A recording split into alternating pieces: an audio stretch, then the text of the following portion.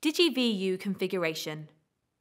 Once your DigiVU has been connected, click on the Configuration tab to change the settings of what is or isn't downloaded. This option allows you to configure all attributes on the DigiVU. You can view the Digi device type, version, serial number, and last upload date within the Digi device details section. Configuration items and abbreviation explanation. Overview includes data such as vehicle ID, last VU download, and by which type of card. This data cannot be excluded from the download. Activities. Download all driving and mode activities. This should always be downloaded. In addition, there are a few activities options which can be chosen. Since last download, default, select if you wish to download data not previously downloaded, and if the specific DigiVU has downloaded the vehicle before, it will accurately know how many days to download. This option will use the DigiVU history to determine what is downloaded and if the DigiVU is empty or has not previously downloaded any data from the specific vehicle, then all available data will be downloaded. If you have more than one DigiVU device and vehicle downloads could be done by any one of the DigiVU devices, this option may make for longer downloads. If you only have one device, this option is quite sufficient. Since last download as logged by the VU. Select this option if you have more than one DigiVU device and tend to swap them around between VU downloads. This option will use the VU history to determine what is downloaded. Last and number of days will download data within the specified number of days. Just define the number of days of activity you require. All activities. Choose this option for all data on the VU, usually one year of data. Please note that any data previously uploaded to TachoMaster will be ignored by the database, even if you upload the data again.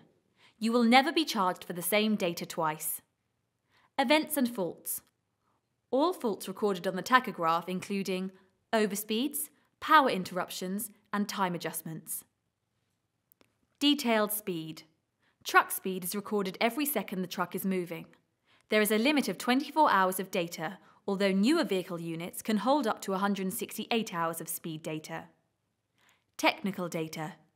Details relating to the vehicle unit identity, software version, and calibration. Driver card. If a driver card is present in the vehicle unit at time of download, a driver card file will be created on the DigiVU. VDO additional data. A separate S prefixed file will be created on the DigiVU. This file is only created from a VDO tachograph and only select this if you have been requested to provide the information by a relevant authority. Please do not select this option unless specifically asked to by the VU or vehicle manufacturer.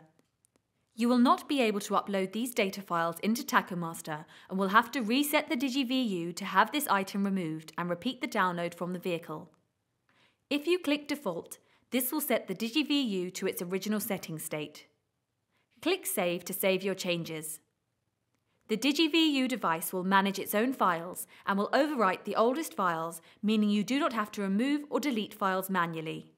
Please ensure that all data downloaded from a vehicle is uploaded regularly into TachoMaster. The DigiVU will store up to approximately 120 downloads. If you want to delete the older files from the DigiVU, click on Delete All and all files stored will be removed. If any data exists that has not been uploaded, the delete function will not work. Please make sure you keep the firmware for the DigiVU device up to date. The firmware version number is always shown when the device is connected. If a new version is available, this version number will be underlined and in blue. Click on the blue number to upgrade the unit to the latest version. It is also possible to click the Upgrade Firmware button from the About tab. This button is greyed out unless a version upgrade is available.